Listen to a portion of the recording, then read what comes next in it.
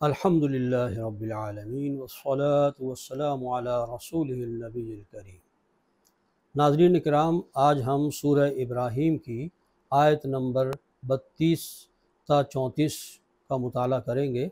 اور اس میں جو ایک خاص جملہ آیا ہے، جس سے ایک سوال پیدا ہوتا ہے، اس پر ہم غور کریں گے۔ اللہ تبارک و تعالیٰ کا ارشاد ہے، اعوذ باللہ من الشیطان الرجیم، بسم اللہ الرحمن الرحیم۔ اللہ الذي خلق السماوات والارض وانزل من السماء ماء۔ اللہ وہی تو ہے کہ جس نے آسمانوں اور زمین کو تخلیق کیا اور آسمان سے پانی نازل فرمایا۔ فاخرج به من الثمرات رزقا لكم اور اس کے ذریعے سے پھل اور رزق برآمد فرمائے تمہارے لیے۔ وسخر لكم الفلک لتجری فی البحر۔ اور اس نے مسخر کیا تمہارے لیے کشتیوں کو، سمندر کے جہازوں کو، تاکہ وہ تمہیں سمندر میں اس کے حکم سے لے کر چل سکے۔ وسخر لکم الانہار اور اس نے تمہارے لیے نہروں کو مسخر فرما دیا۔ وسخر لکم الشمس والقمر اور اس نے تمہارے لیے سورج اور چاند کو بھی مسخر کر دیا یعنی کام میں لگا دیا ہے۔ دائبین کے جو ایک دستور کے مطابق ایک لگے بندھے راستے پر چلے جا رہے ہیں۔ وسخر لکم اللیل والنہار اور تمہارے لیے اس نے دن اور رات کو مسخر کر دیا ہے۔ یعنی یہ سب چیزیں تمہاری زندگی کو سازگار بنانے کے لیے اس نے تمہارے لیے پیدا فرمائی ہے۔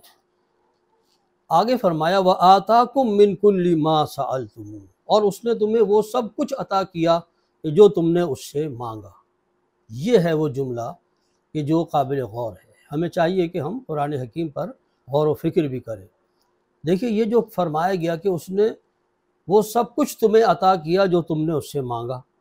اب ایک سوال ذہن میں پیدا ہوتا ہے کہ بہت بسا اوقات ایسا ہوتا ہے کہ ہم دعا کرتے ہیں اور ہمیں وہ چیز حاصل نہیں ہوتی فوری طور پہ، یا بہت ساری تشنا ہماری دعائیں جو ہیں وہ رہ جاتی ہیں۔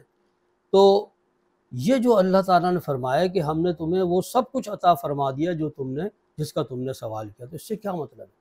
اس سے مراد یہ ہے، ایک دعا تو وہ ہوتی ہے کہ جو زبان قال سے کی جاتی ہے۔ انسان بس بس دست بدعا ہوتا ہے اللہ کی جناب میں، ہاتھ اٹھا کر جو ہے اس سے دعا کرتا ہے۔ ٹھیک ہے، ایک دعا وہ ہے جو زبان سے ادا کی جائے۔ اور ایک دعا ہے جو زبان حال سے ہوتی۔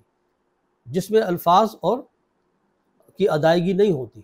بلکہ ہمارا جو وجود ہے، وہ جو تقاضے کرتا ہے، اس کے جو تقاضے ہیں فطری طور پر، یہاں وہ مراد ہے کہ ہم نے جو تمہیں وجود بخشا، اس وجود کو ایک سازگار ماحول اور ایک بہترین زندگی گزارنے کے لیے جو ماحول ضروری ہے، وہ ہم نے تمہیں، تمہارے مانگے بغیر تمہیں عطا فرمایا۔ دیکھیے نا، جب انسان دنیا میں آتا ہے، اس کو بہت ساری چیزوں کی ضرورت ہے۔ اس کو آکسیجن بھی چاہیے، اس کو پانی بھی چاہیے۔